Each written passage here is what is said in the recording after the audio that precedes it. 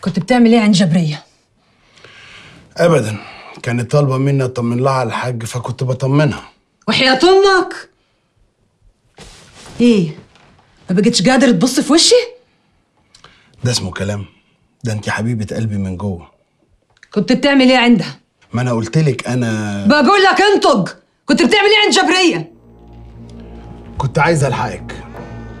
يعني إيه؟ مروان. مروان يا ستي عايز يدي كريمة اللي هي عايزاه ويدي ولادها كل اللي هم عايزينه. ما فهماش. تقصد إيه؟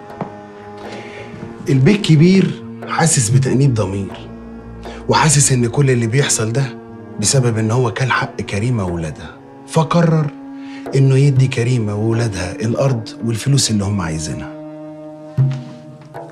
وماله؟ حقهم ما قلناش حاجة.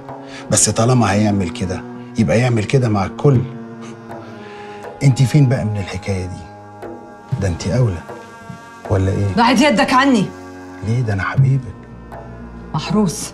يا عيون محروس. تطلع من الأوضة تطلع من باب البيت ورجلك ما تخطيش هنا تاني فاهم؟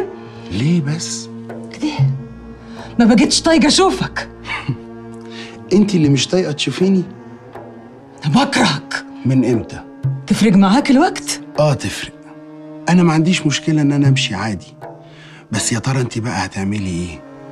هتلاقي مين يبص في خلقتك الجميلة دي من بعدي؟ آه يا ولدي الخسيس يا واطي. عيب عيب لما تشتمي جوزك. ولا أنت لسانك بقى زي وشك؟ تعالي تعالي بصي بصي شوفي شكلك بقى عامل إزاي. شوفي أنا مستحمل إيه. شوفي. شوفي عشان تحمدي ربنا إن أنا عايش معاكي في نفس الأوضة اللي أنت فيها. انزلي الشارع. انزلي الشارع كده شوفي الناس هيبصوا لك إزاي. بلاش.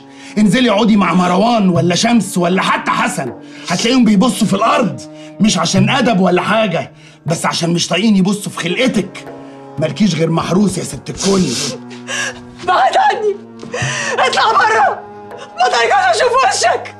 طلقني. طلقني يا قليل الأصل يا نحل برا